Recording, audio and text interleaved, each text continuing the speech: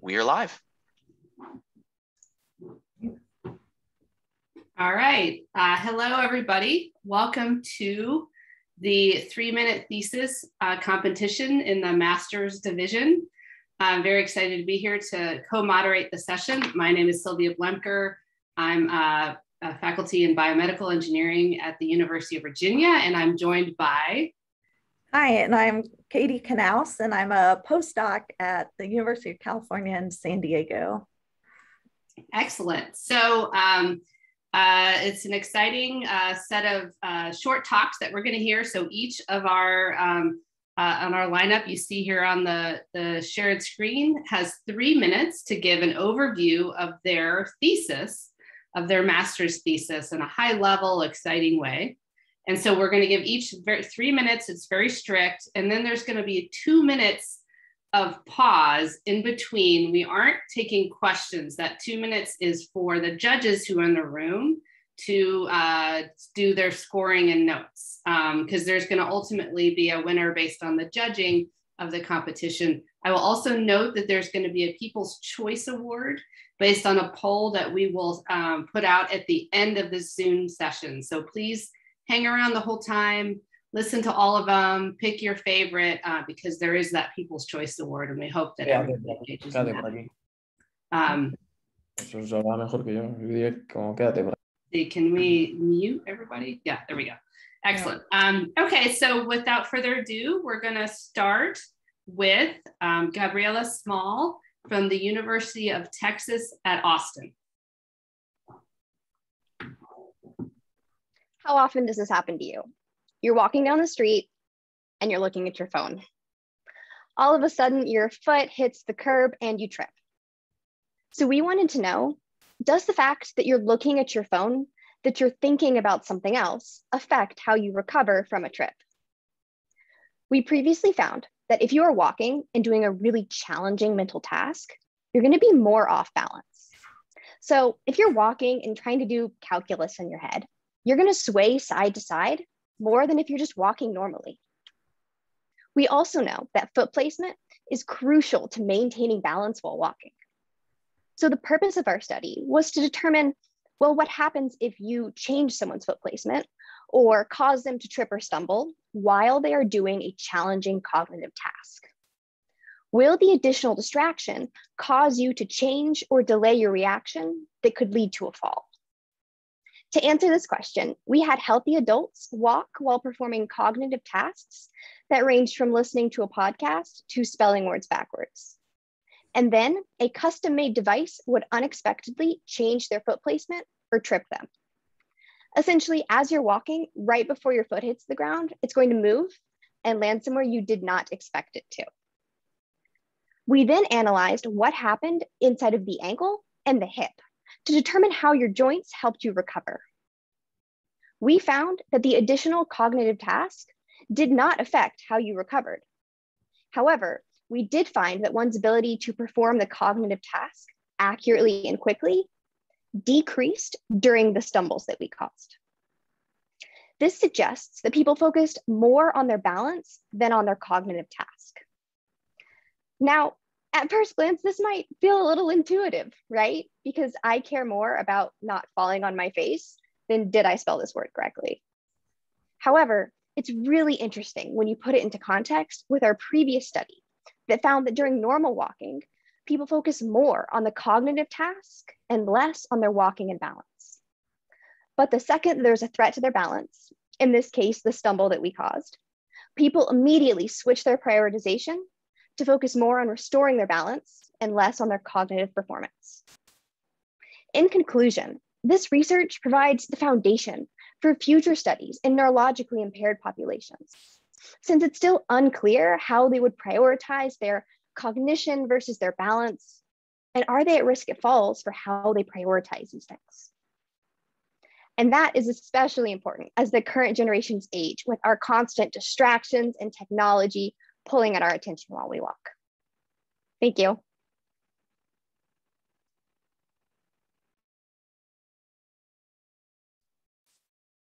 Great job, Gabriella. Um, so we have our two minute pause now.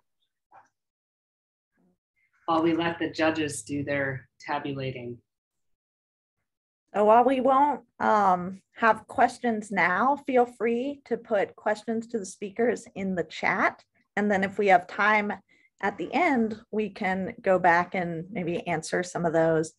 But in the meantime, we'll entertain you all and let our speakers take a little break because it's hard work to put that much into three minutes. I've done it before.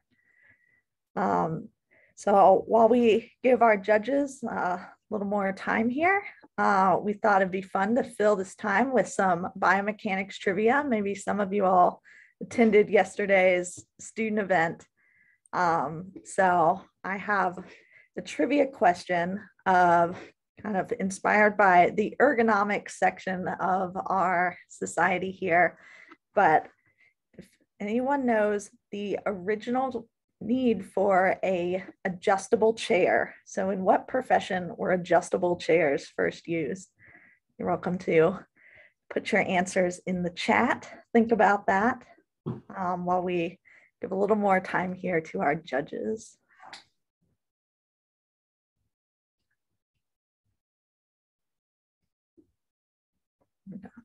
We have a we have a offering from Keith Gordon. Gordon barber shop. I go. We'll give 10 more seconds and we'll announce anyone wants to dispute or agree. They do adjust the barbershop chairs. Yeah. All right. So we're getting ready to move to our next one. So yes, Keith, you are correct. Um, before we all had adjustable office chairs, the actual first ones that could lean, recline, spin were all in barbershops. Yeah. But now we we're in person. I would. If we were in person, I would throw a starburst. I know we could have had treats. Yeah. All right. Smart, a smart Smarties. That would have been better. All right. Wait. Okay, so our next speaker is going to be Lauren Grohowski from Vanderbilt University. Take it away, Lauren. Imagine training day after day for a big marathon or race, feet hitting the pavement over and over, feeling yourself getting stronger, when all of a sudden your shins start to hurt. Maybe you keep running and training, but eventually you have to stop, and that dream of the race disappears as the stress fractures form. Stress fractures in the tibia bone affect as many as 15% of runners. So, what if we could find a way to save that dream and prevent these stress fractures? Well, that's where wearable sensors come into play. If we could find a way to use wearable sensors to measure tibia bone loading, we can potentially measure load over time and alert athletes and runners to stop or reduce training before the stress fractures occur. But to produce a successful wearable system for runners to wear, it has to be as non-disruptive as possible. Therefore, we're looking for a solution that uses a small number of sensors. Through my research, we've decided to use a force sensing insole and an inertial measurement unit, a small sensor that can be placed under the tongue of the shoe. In, or in order to increase accuracy, I look to maximize the capabilities of an insole. In general, insoles are pretty variable sensors due to differences in runners, runners' patterns, arches, or even the incline of running. So to minimize these variabilities, I split the insole into three regions, fore, mid, and heel. Each of these regions then produce their own values that can be used to determine tibia bone force. What I found is that using these two sensors and the segmentation technique is that we could produce very accurate estimations of tibia force. Well, you might ask, how could these two sensors produce such accurate estimations of tibia force? The answer may lie in the fore section of the foot. Let's think about a typical human stride. Your heel will hit the ground first and then roll forward to push off on your toes. Now let's say you start running on your toes. The ball of your foot will hit the ground and then push forward to push on off on your toes. So what do these two strides have in common? That front part of your foot or the fore section exports force. No matter how you choose to run, there will be force exported in the, in the fore section of your foot because in order to get to the next step, you have to push off on your toes. Because there's always force exported in this fore section of the foot, it becomes a more reliable metric to use when estimating tibial force. Well, what does this mean for runners? It means that we can help prevent those pesky stress fractures from occurring by providing you with a system that can accurately measure your tibia bone force. Now you can run, walk, hike, and train without having to worry about stress fractures slowing you down.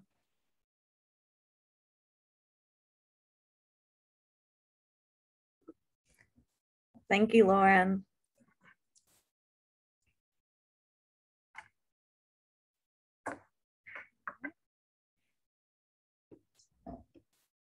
So we'll take Yeah. our two minute break for the judges. What's our next question, Katie? All right, we'll do another trivia question. Uh, this one's going to be Olympics inspired since, you know, we're just coming off of all of that fun.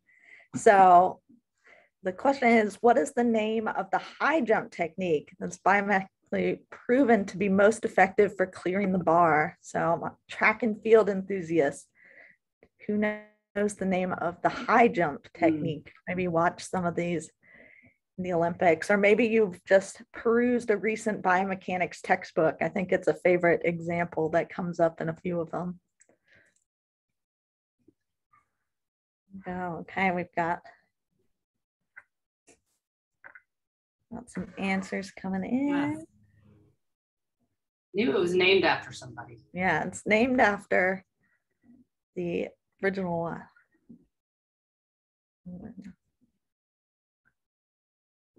Well, yep, so we've got some, yeah, but seal, uh, you're right, it was the Fosbury flop. So this is that move where the high jumper goes backwards up and over the bar, but by kind of curving themselves around it, effectively keep their center of mass below the bar during the jump, making it possible for them to clear higher bars. So thank you all. Good job. Got a few more Smarties to throw into the room. Virtual Smarties. Virtual Smarties. All right, so we'll give our judges a few more seconds, but we can set up our next speaker. Ready to go?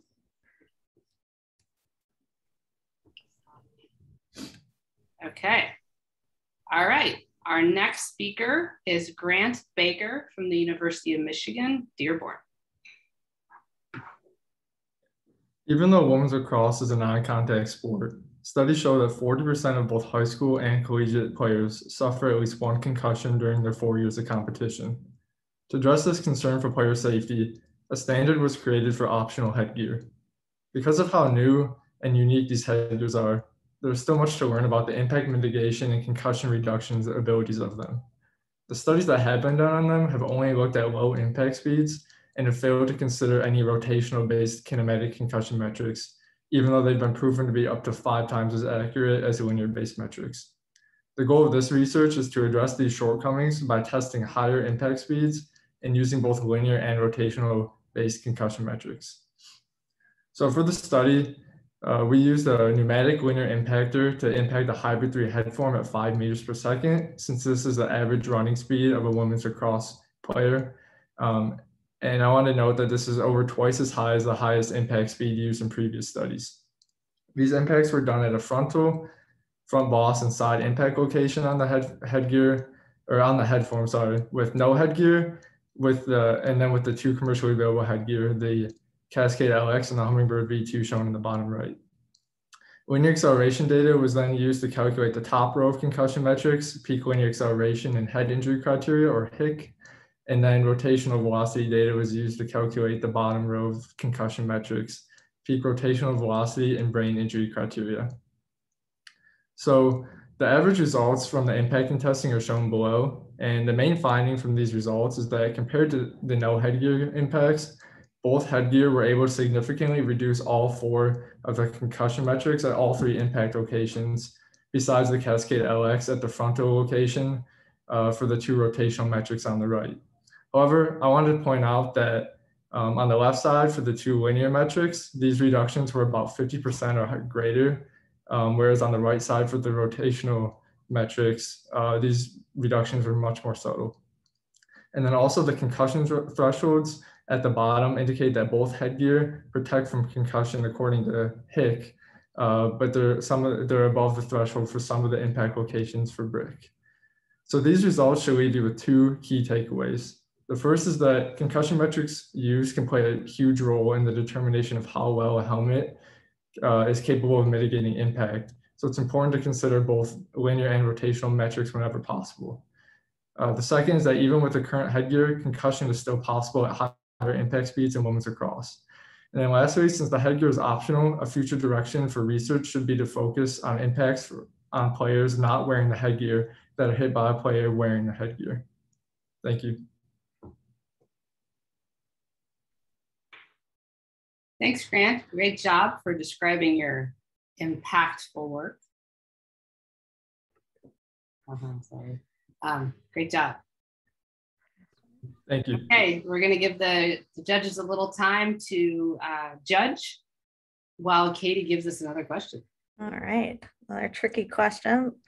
Uh, do some from our animal category. So I like this one where so dogs wear collars and chew on bones, but ha- lack a fully developed collarbone.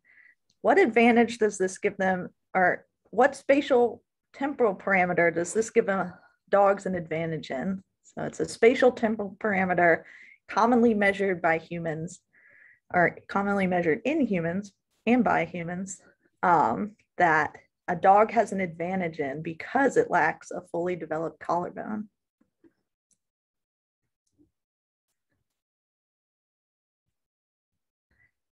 Mm, you see a good idea there. Step length by Kate. So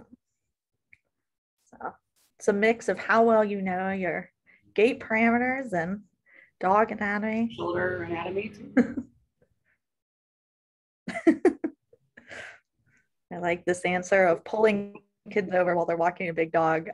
I think big dogs have that advantage, but I'm not sure if that is collarbone related or right. not. I think even with a clavicle, a big dog may have an advantage over a small child. Well, my dog has an advantage over me. She's not that big. Yeah, she's strong. yeah. She's quite a puller. All right. So we're about to move on to our next speaker. So yes, Kate, you were right. Step or stride length is increased. The dog can take a longer step without their clavicle with their front leg. Virtual Skittles, Kate. Yes. Go get yourself a bag of Skittles.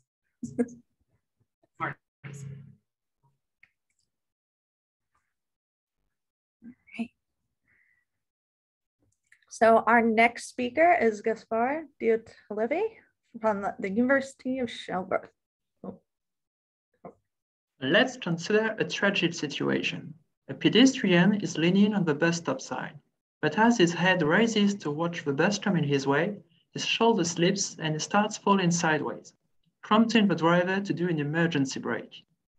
The unsuspecting passenger at the back of the bus feels the ground shifting from under her feet and starts falling towards the windshield. What the pedestrian experienced is called a lean release, because he fell from an angle without any energy being transmitted to him. The passenger felt a surface translation, as if someone had pulled the rug from under her feet. My job is to model the first hundreds of milliseconds after a loss of balance due to such perturbations or their combination, up to the point when your main concern becomes taking a step to avoid a fall. To do so, I replace people with an inverted pendulum on a skid in my computer program and make it fall forward sideways, or backwards.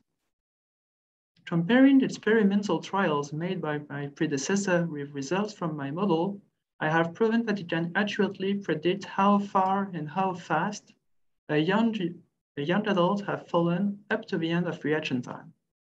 But why do I only study what happens up to reaction time and not the whole fall, you may ask? Well, my lab's prior research has shown that you can predict the outcome of a loss of balance based on your angular position and velocity at the end of reaction time. Basically, a common threshold is shared between those perturbations. If you end up under this threshold at the end of balance at the end of uh, reaction time, you are likely to recover from it. But cross this threshold and the fall becomes unavoidable. If you give the model a perturbation and a participant, Then comparing the points it computes to this threshold lets us predict the outcome of a loss of balance before it even happens. Let's say that uh, the passerby gives point A on the graph. It is under the line, so he is likely to recover his balance fairly easily. On the other hand, the, pas the passenger B is above the line, which means she will likely fall. I'm sorry for her. What makes our model valid is that modeling errors are smaller than the experimental variability of results. Using this model could thus help predict falls, design safety features, plan experimental protocols, and evaluate training programs without endangering participants. Thank you for your attention.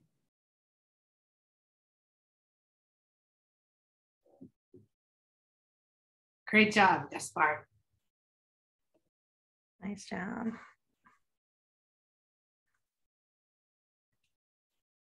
All right, so we will again fill our two minutes of judging time here. We'll do another trivia question. All right. So muscular hydrostats are often mimicked in soft robotics. So these cool structures are prominent in both elephants and octopuses. Um, but octopi, octopi. We looked it up. I think it's octopuses. I don't know. I I didn't get a PhD in grammar. Sorry. um, but an octopus and an elephant have prominent muscular hydrostats. But the trivia question is, how many are in a lemur? Tricky question. Lemur. Yeah. I'll let.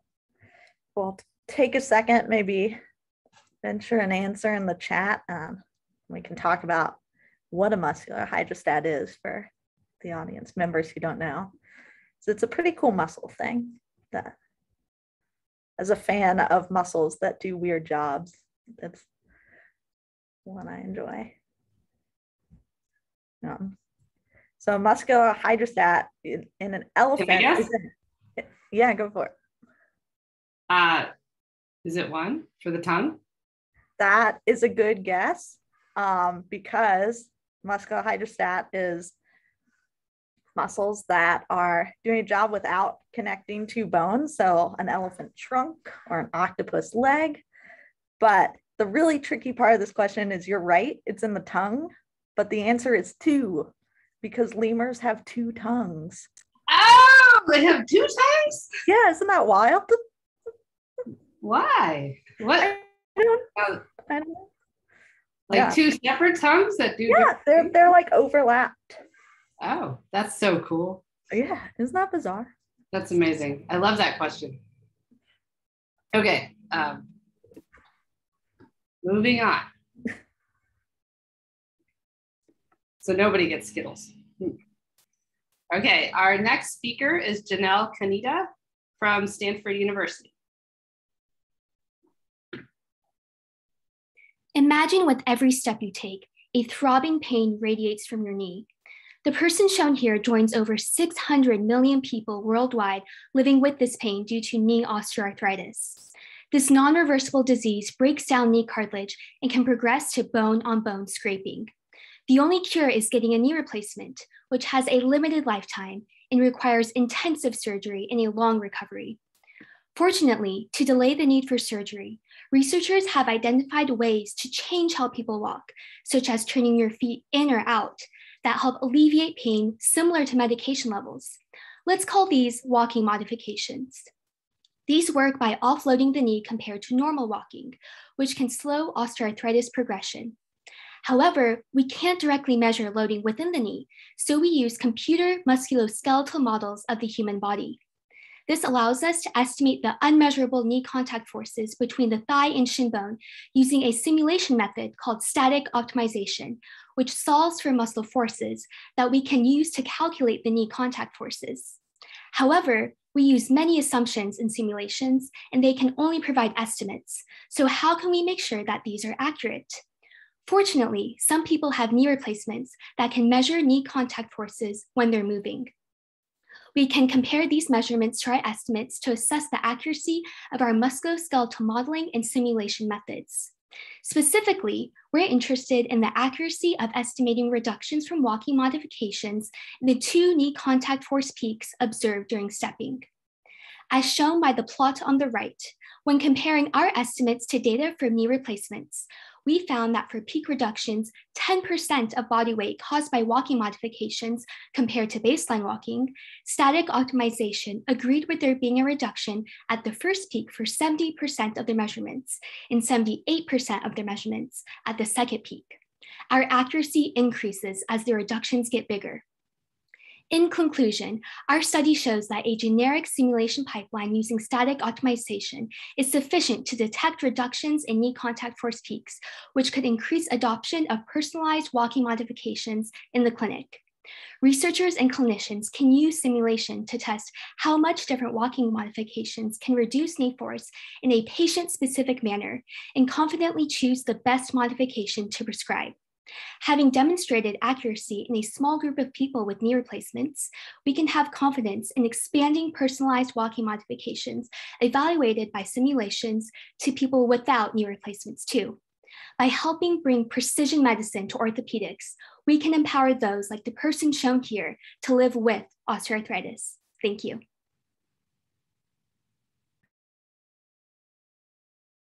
Thanks, Janelle. Great job. Nice job.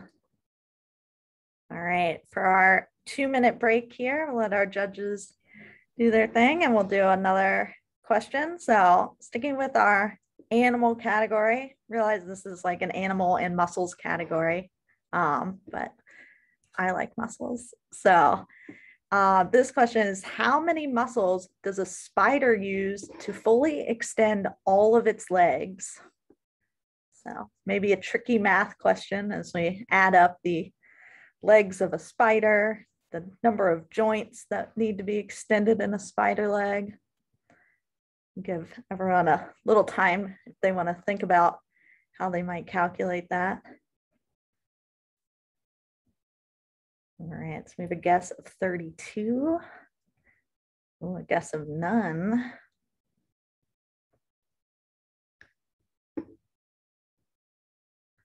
Give a few more seconds for guesses of spiders. Eight. There's an eight. Mhm.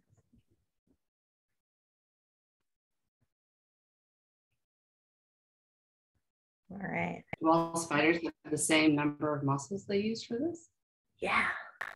Hmm. Yeah. This one was actually a super tricky one, but we have one correct answer, and it actually is none. It's zero because spider extensor joints use a hydraulic joint mechanism and not a muscular mechanism. So they have muscles to flex their legs, but not to extend them. So Hmm.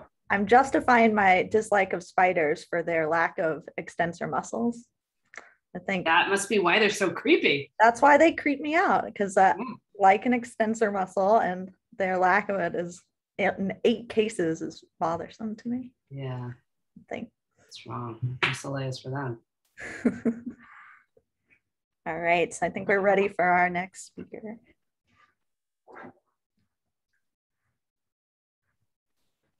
Oh, this one. All right, so next is Aojun Jiang from Northwestern University. Take it away. Hello, everyone. For a neurologic injury, gait rehabilitation is used to help a patient form an appropriate internal model to control consistent aspect of their envi environment and to improve their ability to manage environmental uncertainty, like an unexpected perturbation. While it is important for a patient to learn both these skills during gait rehabilitation, it is unclear how external uncertainty impacts locomotor adaptation. This study aims to answer this question. Does exposure to external uncertainty affect locomotor adaptation? 26 healthy young adults were assigned to either a control or perturbation group. Each group performed an identical series of walking trials, starting with 20 non-field baseline trials and ending with 70 consistent viscous force field trials. However, there was one exception. The perturbation group performed 30 walking trials during which they experienced pseudo-random lateral perturbation. These perturbation trials occurred immediately before the viscous force field trials. In addition, we analyzed the first and the last four trials of the viscous force field trials as early field and late field, respectively. Our results of center of mass trajectories demonstrated that both groups of participants showed adaptation to the viscous force field. Their late field center of mass trajectories were closer to their baseline trajectory than during early field trials. However, the center of mass trajectory of perturbation group did not return to their baseline at late field as control group did indicating the adaptation to viscous field was impeded following exposure to pseudorandom perturbations. In conclusion, prior exposure to pseudorandom perturbations led to limited locomotor adaptation. Our results suggest that clinicians should be especially careful about the introduction of environmental uncertainty in walking rehabilitation training. Thank you for listening.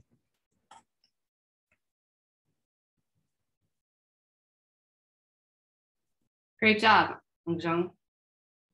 Thank you.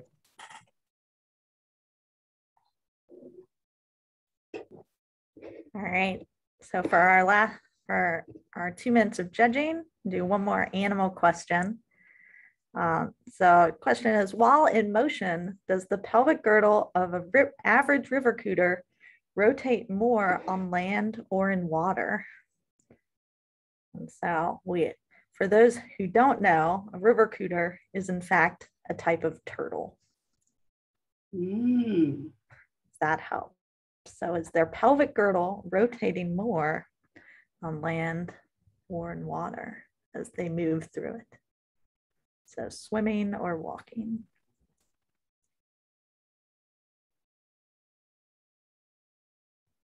We got a couple land answers land answers, some more rotation on land. I'm guessing. Yeah, so that's actually correct. Both Keith, Allison, nice job. So it is rotating more on land. Um, yeah, Kate, didn't know turtles had pelvic girdle.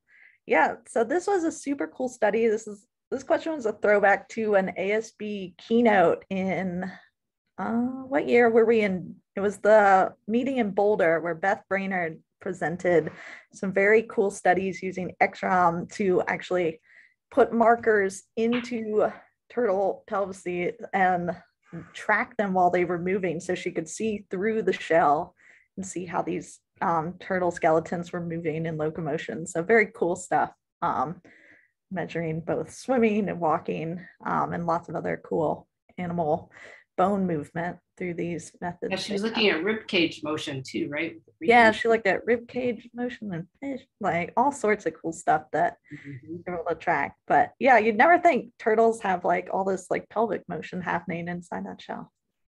But they Oh. move it more on land. Yeah. Yeah. um, cool. All righty. All right. Um, the next speaker is Shay um, Pinhey from Northwestern University.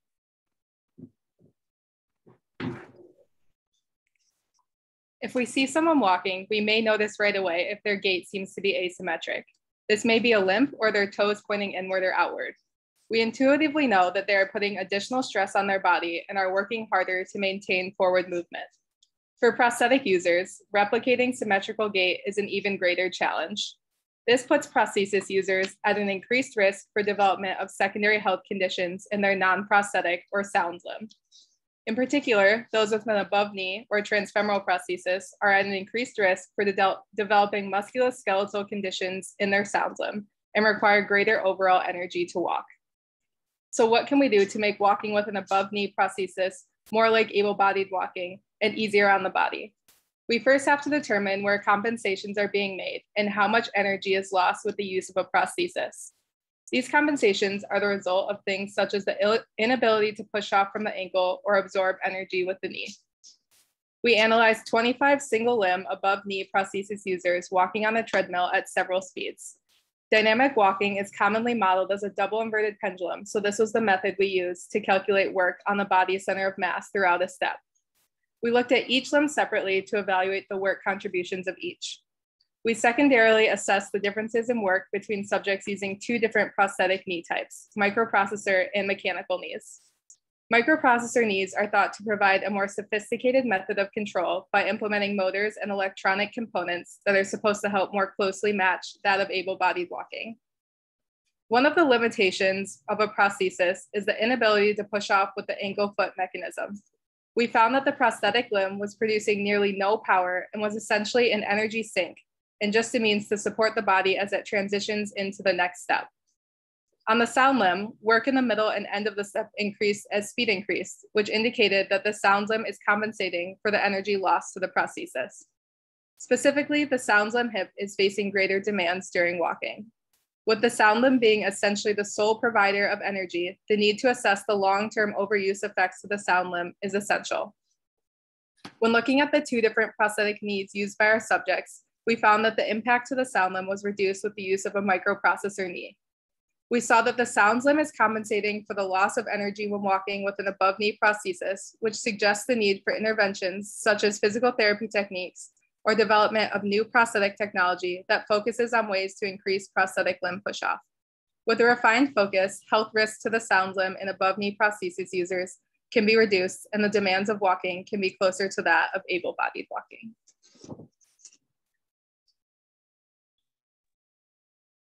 Thanks. Great job, Shay.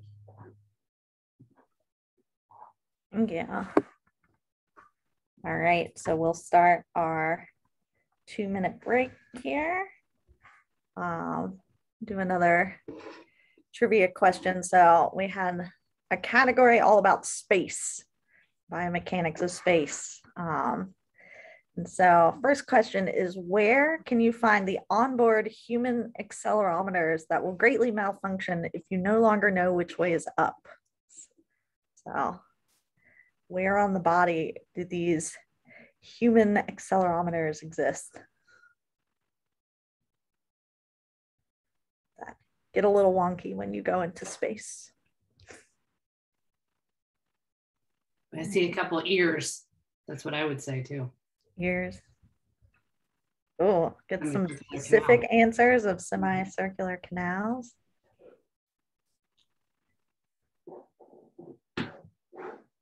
Yeah, all right. Yeah, so we have some winners. So virtual Skittles, Amanda, Allison, they are the ears, specifically the inner ears or the semicircular canals. Allison, you got that right, you would find your onboard accelerometer. So you have built in inertial measurement. You, there you go. You can measure your own accelerometer accelerations. Um, this yeah, why do we need all these devices to measure it if we already know? We already have ears, right? I guess the issue is you don't have ears on each of your limbs. So if right. your arms and legs could hear, maybe you could also tell where you are better. yeah, it's kind of mind blowing. Yeah.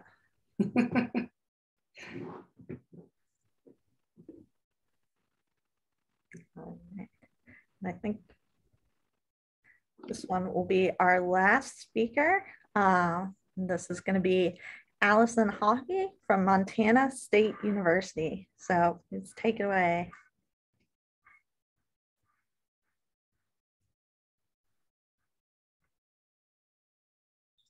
How many of you like to run? Now, how many of you don't actually like to run, but do it because it's good for you? Personally, I am in the second camp here. There's a pretty good chance that you or someone you know participates in running. There's also a pretty good chance that you or one of your running friends has developed a running related overuse injury. In fact, up to three quarters of all runners develop an injury over the course of a year. And for up to half of those individuals, these injuries occur at the knee. With these injury rates, a lot of research has been dedicated to determining potential causes and contributing factors of running injuries. One thing we have investigated is the coordination of your leg segments and joints. In other words, how the various parts of your leg work together to create movements. As humans, we have some inherent amount of variability in this coordination. Coordination variability describes how our individual body segments can move in a variety of different ways to create the same overall movement. Let's take the squat, for example. We may use different movement techniques, such as keeping our torso upright or pushing our hips backward, but our overall movement is still a squat. Now you may be thinking, how can coordination variability tell us anything about running injuries? The answer may lie within your knee joint. Specifically, I am talking about the internal loading of your tissue. Repetitive loading of tissue, like the patellofemoral joint, has previously been associated with running injuries, and with minimal amounts of variability, this load may pass through the tissue in the same manner on every step of your run, potentially increasing injury risk. While this link between variability and loading is interesting, it has not yet been assessed in running populations. My work looks to address this very gap in the research. Using various methodologies and calculations, we analyzed variability between the leg, the knee, and the rear foot, as well as several patellofemoral loading metrics in 64 runners. We then utilized statistical analyses to group our knee loading metrics into instantaneous peak joint loading and cumulative joint loading. In other words, loading that happens over time and distance. We found that runners with lower variability also had greater peak loading of their knee, but there was no relationship between variability and cumulative loading. Therefore, these results suggest that the way in which coordination variability is related to the development of running injuries is through peak knee joint loading rather than the loading of the joint over time. While further research is needed to elucidate this hypothesis, our study may aid both researchers and clinicians alike when dealing with running injuries, where coordination variability may potentially help to inform us of risk of injury development or injury recovery. Thank you. Thanks. Great job, Allison. We'll let our judges, our last speaker, but for everyone in the audience, we're going to have a poll um, so that we can select an audience choice favorite. So, uh, seeing, do we have that poll we can put in the chat? Or should I? I can launch it right now. Thank you. One second here. All right, the poll has been launched. All right. So please fill out this poll. Also, we have a little bit of time before this session officially ends. So if anyone has questions for any of our speakers, you're welcome to put them in the chat um, and we can ask them. And also after this, we are having a spatial chat time. Um, I believe the Borelli room was the assigned one, but remember you can search for people on the side there. Um, so you're welcome to follow up with our speakers in that as well.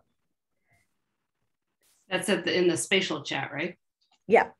Um, yeah, so the spatial chat is kind of organized into rooms. Yeah, I can drop a link in the uh, in the chat here in just a second once I get it up to the spatial chat room.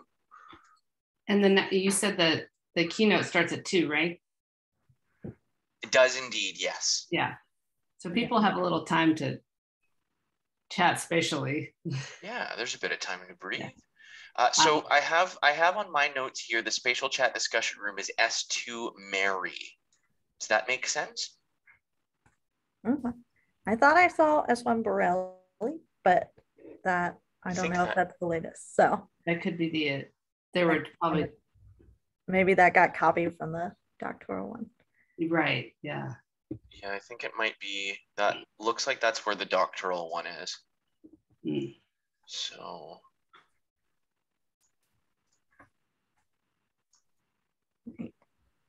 just All right. So we'll leave our poll open a few more minutes. So if you have not taken a chance to vote, please do that. But let's thank our speakers. Um, yeah. They've done a fantastic job, a lot of very cool research and well done combining it into a few short minutes. These were great presentations yeah. and really fun to watch. So congrats to everyone.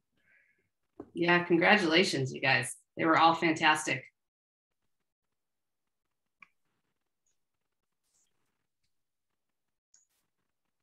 Yeah. Smarties for everyone. Lots of Smarties.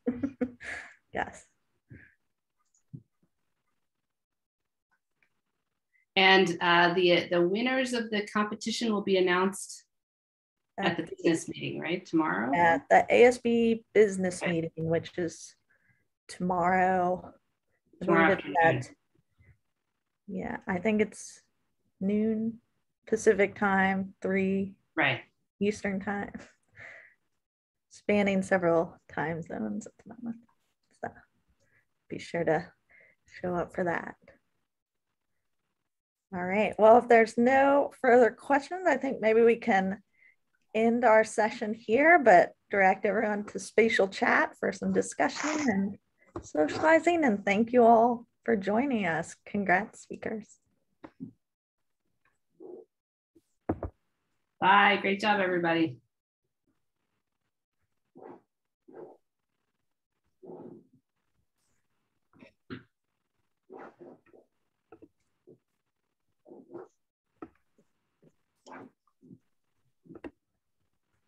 Uh, Are we right. supposed to take the results from the audience poll?